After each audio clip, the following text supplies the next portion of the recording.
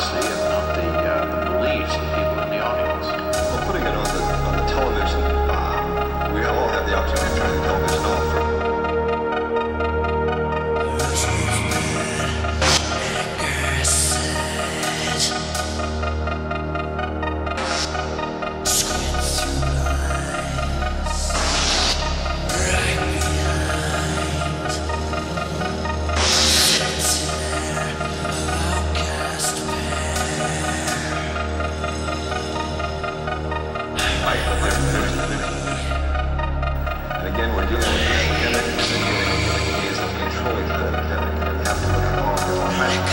Oh.